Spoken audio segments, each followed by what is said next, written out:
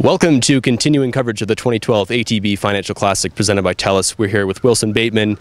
Wilson, you're an Edmonton native, 18 years old, and you just shot 69 today for an opening round. Uh, what was your key to your round today?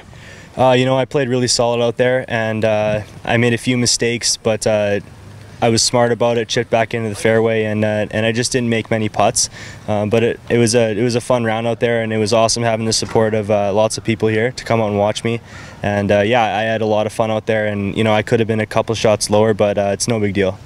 Now, being an Edmonton native, uh, you had a, a, little gallery following you for most of the day, and you're 18 years old. It's your second Canadian Tour start. What's it like having you know hometown support, getting you used to the Canadian Tour?